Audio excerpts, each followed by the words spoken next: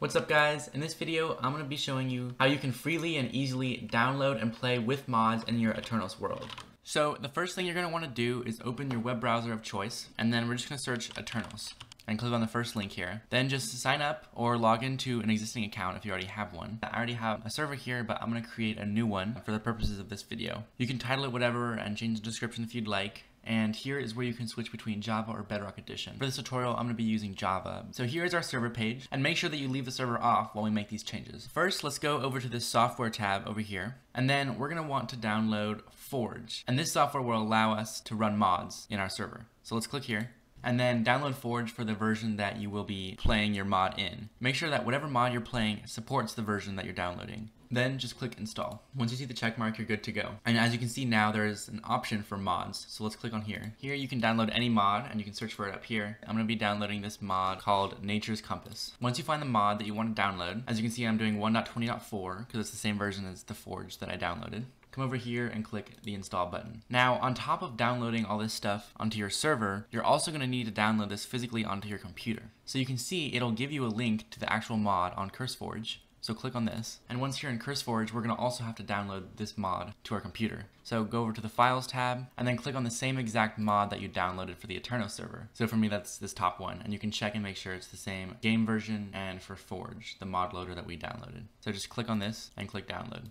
The next thing we're going to have to do is download Forge, which is super simple. To do that, do a search for Forge and click on the top link, and then download Forge in whatever version you downloaded it on the Aternos site. So for me, that was 1.20.4. So I clicked on that here and then click on installer. Make sure you don't click on any ads that come up here. Just wait a little while until you have the option to skip in the top right, and you can see it, it'll download. So in my downloads folder, you can see I now have these two files. I have my Forge installer, and I have the mod that I'm going to play with. So first we have to make sure that we install Forge. So right click on this, say open with, and we're gonna be opening with this Java TM platform binary. If you don't see it here, you can say choose another app, then more apps, and then look for it here. And if you still don't see it, then you're gonna have to download Java. Once you have that downloaded, right click on this, open with, and the Java platform binary. Here the installer will pop up. We're just gonna install the client, so we can click OK and then launch the Minecraft launcher. So I'm in the launcher and you can see that it automatically detected my Forge installation. And one more thing we need to do before we launch Minecraft is to come down here and search for run and click enter.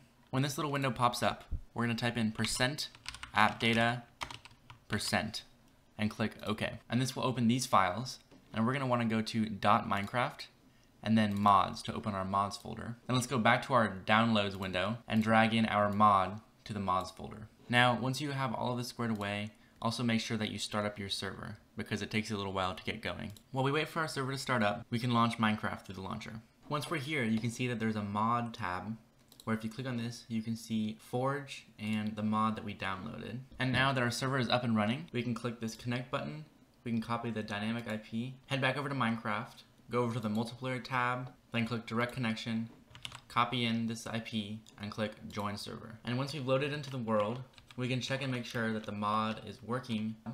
So in my case, it would be a compass. You can see I have this nature's compass where if I right click it, I can select any biome and it'll point me in the direction of the biome that I selected. It's important to note that if you're playing in your Aternos server with friends, it's crucial that they have the same version of Forge downloaded and the same exact mod downloaded as you.